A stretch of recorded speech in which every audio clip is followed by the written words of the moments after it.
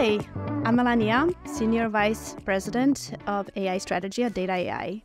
To help celebrate this year's International Women's Day, we invited a few of the many inspiring women leaders in the mobile apps and gaming world for a series of discussions on the amazing impact and contributions they make every day in the mobile industry.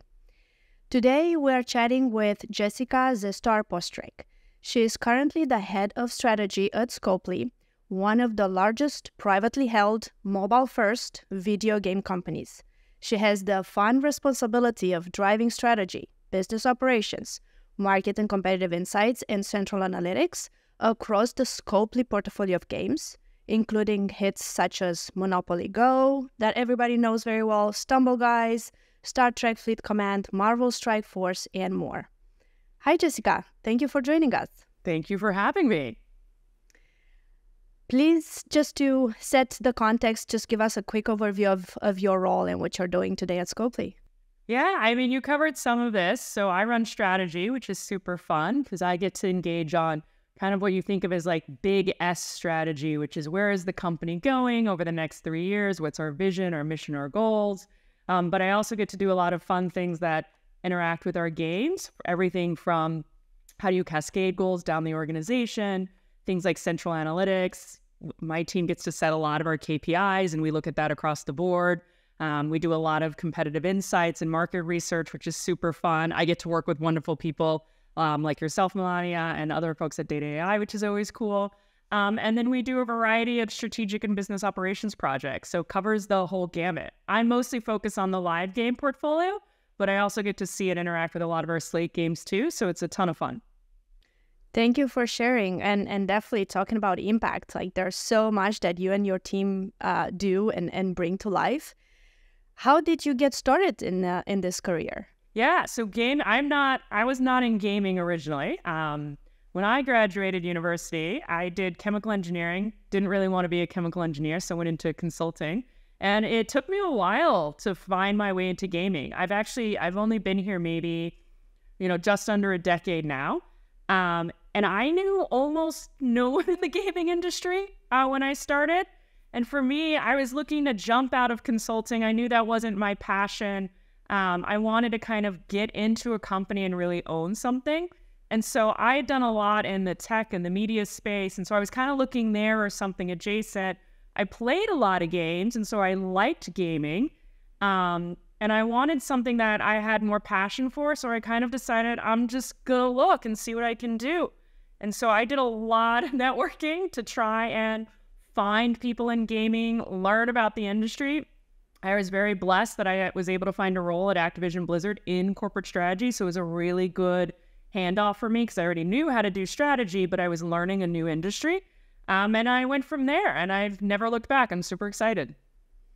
Wow. Uh, congrats on following the passion and being courageous of making these big changes to to just find that place where where you can really create and bring the the best of yourself and and just be happy with it. So what kind of advice would you give to women that are looking to start a career now in app development gaming development?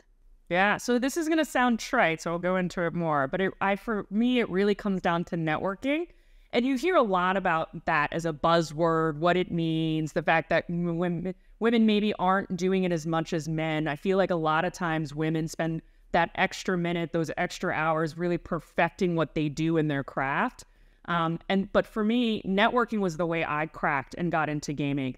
And specifically, what I meant by that is I was on LinkedIn. I was like trolling LinkedIn because I didn't really have anyone in my network that was in gaming.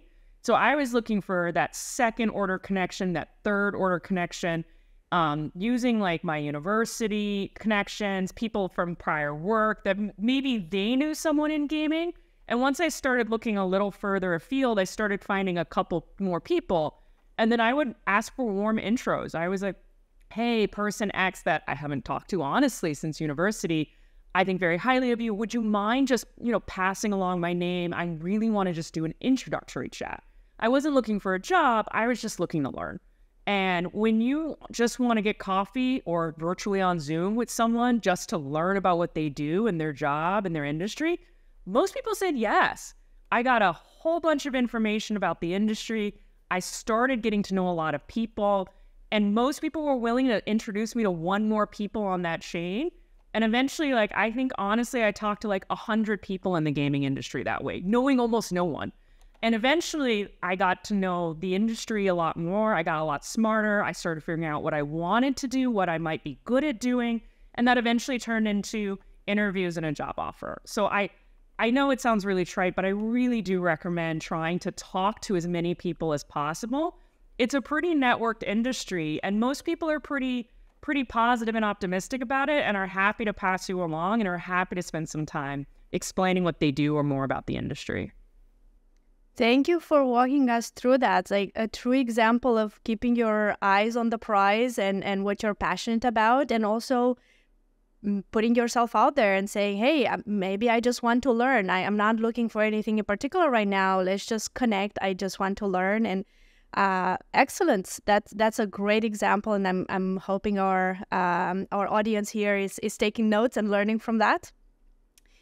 Um, if we look back at various moments in, in your career, what would you say is the best piece of advice you have been given? So I'll have to go back a while. Probably the best piece of advice I got given was kind of how to find a, a good job, right? How to find something that you know you're going to do well and that's going to set you up well for your career, right? Which I think is what most people want, right? They want to be doing something that they're good at, but that they like and that they find meaningful and have progression. And so for me, it was this concept of it's not enough just to look for things you're good at, but also look for things you're passionate about. And it's that sweet spot that really makes um, life a lot more fun when you go to work every day. And it makes you a lot better at what you're doing as well. And so for me, what I've always tried to do in my career since then is look for jobs or look for opportunities, even within jobs, where it's something that I think I can do or that I might have skills that I can apply and really excel there, but also is something that is exciting to me. And that exciting to me is very different for different people. For me, the content of what I work on matters a lot. And so that's why I looked at gaming because I was just passionate about that industry. For others, sometimes it's actually the function that they're in or it's the people that they work with. And not to say that any of that is not important for all of us, but everyone has that one thing that they're really passionate about that is supersedes everything else. And finding that intersection um, is really what I look for. And that advice early on in my career was incredibly helpful as I thought about the new role I'm going to take or the new opportunity I wanted to reach for. That's a great reminder that we should not just focus on what we think would look good on the resume or what would might what might objectively make sense as the next step, but also what we are passionate about because that energy then just creates a lot more motivation. It, it creates a lot more pleasure at, the workspace, and that's that's really good to to hear that you did continuously kind of follow uh, follow that approach. If we flip it and kind of look at what type of obstacles or hurdles you had to overcome as a, as a woman in this industry. What would you uh, talk about here? Yeah, I you know, for me, one of the things I think is challenging about this industry, and, and honestly, it's it's all industries you go into. In all honesty, is like gaming is a bit of a like can seem very closed and very complicated outside in, and so some of this is around like just how do you get smart fast? Is it ton of acronyms? There's a lot of complexity if you're in mobile versus PC versus console, if you're in esports or consumer pro. There's like a lot going on in this industry. And so one of the things I think a hurdle is like, well, how do you get smart on it? And how do you feel comfortable reaching out to get smart? Because just reading something's never gonna never gonna give you enough intel, right? And so I think one of the hurdles and one of the things to think about is like, well, how do you get smart? Who do you lean on? How do you think about mentorship and sponsorship? And how do you think about individual one on one communications in a way to like bolster that knowledge so you can do that at the fastest way possible and kind of hit the ground running when you're in this industry?